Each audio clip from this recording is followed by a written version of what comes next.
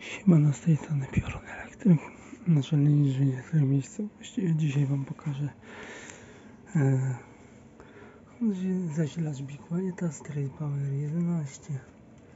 Zresztą można zobaczyć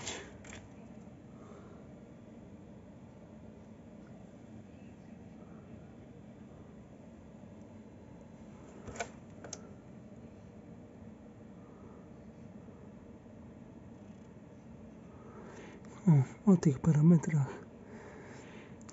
A zasilacz ma awarię a mianowicie e, wywala jakiś bezpiecznik w środku. Więc za chwilę sobie zobaczymy.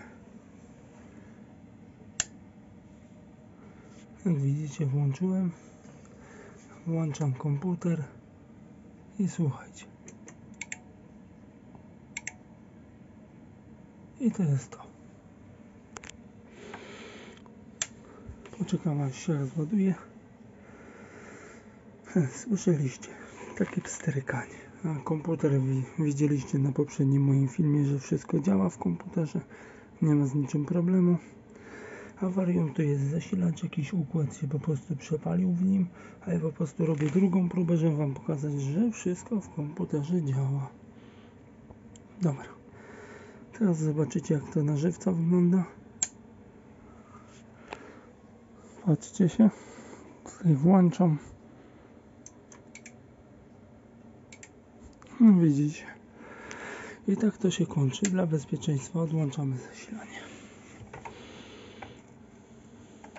Odpinamy. Więc widzicie, tak to się kończy za każdym razem. A na poprzednim moim filmie widzieliście, że podpiąłem straight, nie straight power, tylko zasilacz Big Quieta System Power 9 i ten komputer działał jak nowy. Więc tu uszkodzeniem jest zasilacza, mianowicie jakiś układ pewnie w środku się przepalił albo coś się stało i dlatego jest tak, a nie inaczej.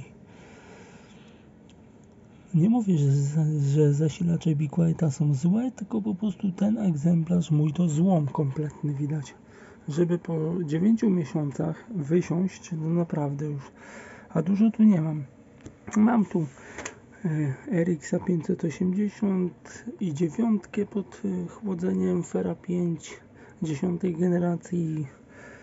Kartę graficzną Radeon Radeon Pro W6400 która bierze maksymalnie 50W kartę Wi-Fi FenWi 32 GB i naprawdę no, komputer stanął dęba i po prostu yy, nie będzie działał dopóki nie wymienię tego zasilacza na nowy Niestety, przykro mi bardzo. Tak czasem bywa w życiu.